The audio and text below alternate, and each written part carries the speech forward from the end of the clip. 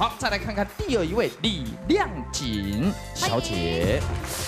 李亮锦，二十三岁，一百六十六公分，台北人，哇哦，漂亮哦，嘿嘿，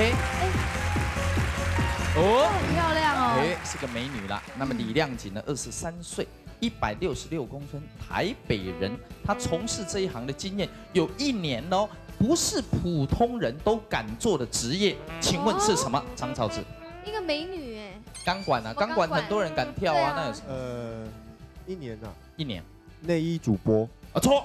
来，锦华 baby 什么答案？应该是清，就是我清洁队那个。哦，哎，蛮特别的，但是答错了。就跟我们上次有人讲那个遗体化妆师一样，来过。哎，动力火车，那个电梯的那个小姐，那个谁不敢坐？对啊，一起来特别 K 的笑的地方是在哪？啊，各位各位，六楼六楼，孕妇穿泳装装到，各位旅客电梯小请往里面挤一点。各位顶楼顶楼到要跳楼的旅客，请赶快下电梯。对，啊，Stella，你的答案是什么？我本来要猜那个为遗体化妆，可是可能槟榔妹，然后穿的很少很辣的槟榔妹。哦，那不行了，现在不能穿很少了。但是你说对了，他的工作穿的比槟榔西施还要少。永班，如果这样你还讲不出来，我是不是那个有人说躺在那边，然后寿司，然后全部没穿衣服，让寿司放？吃寿司。对人体餐盘，答错。有一点像啊。你从事的是什么事情？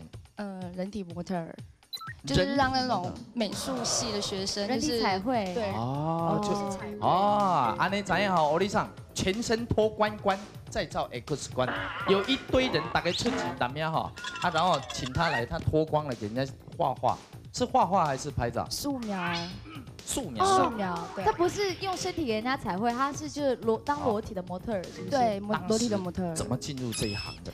因为当时候在剧团里面，然后学姐他们介绍，哦。对，那因为其实现在的剧团并不是那么景气，而且其实从事这个行业，我并不觉得很很糟，因为尤其这是一种对欸艺术对艺术。尤其看那个铁达尼号有没有？对，就是那个帮 Rose 画，对，画裸体，对啊对呀对呀。那你会不会有一些登徒子这样怪怪的人？，对，一定会有。